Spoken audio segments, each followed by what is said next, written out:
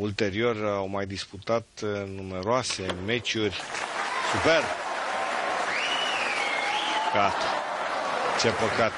Era bilă de break de peste da. 100 de puncte. Finală câștigată de Ding. Neil Robertson, uh, evident, uh, primul... Oh, oh, oh, bravo Ding! Deci se poate. Bravo Ding! Ding. Ding. Congratulations. Felicitări. Well done. Well done. Well done. Bravo. What, what did you feel at 3-0? Ce ai simțit la 0-3? Uh, Neil's uh, played quite good in the start. So A jucat bine la I început, didn't Neil. Really get chances. N-am avut And, șanse. Uh, Today is uh, in the start a few frames the white ball control is not so good. Uh, I wasted some N-am controlat chances. bine bila albă și am ratat câteva oportunități. Și Neil m-a pedepsit repede. La 3-0 n-am mai avut nimic de pierdut și am început să joc. You certainly Și did. mi-a ieșit foarte You bine. certainly did. Ding. You started striking the ball. You got the breaks.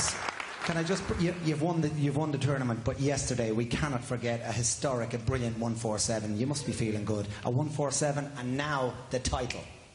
Un 147 și titlul cum I win the titles. Sunt mult mai fericit când câștig uh, turneele. You're right, you're right. But listen, uh, we've had a great, great time with you. I know there's a big audience watching on Eurosport. Uh, welcome to Galway. I'll hope you come back and defend your title. Ding Junhui. Bun venit uh, la Galway, sper să te întorci, Dings, pentru a-ți uh, apăra titlul. Noul campion, chinezul Ding Junhui. Mi-a plăcut uh, că a punctat. Avem o mare audiență pe Eurosport, acum ne Da, da, vede da. multă lume. Gentlemen, please welcome the presentation party, the Mayor of Galway, Terry O'Flaherty, and representing World Snooker and Terry Dapper O'Flaherty, Miles Pierce. primarul uh, Galway-ului și reprezentant din partea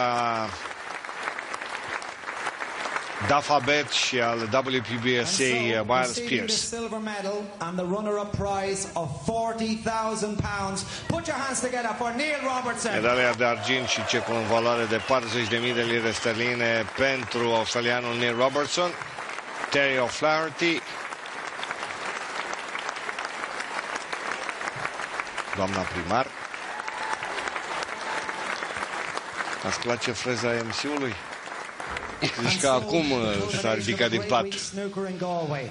The winner of the Nu și-a schimbat freza de, de anul trecut. Nu, nu. and to receive the trophy and the top prize of 100,000 pounds. He's the 2013 Dapperbet Players Tour Championship 13. Grand Final winner from China, Ding Junhui. Ding Junhui.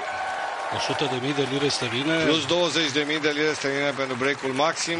Pleacă cu oarește avere de la Galway eh, Ding Junhui. Plus trofeul, care sigur astăzi nu putea fi împodobit altfel decât cu steagurile irlandeze.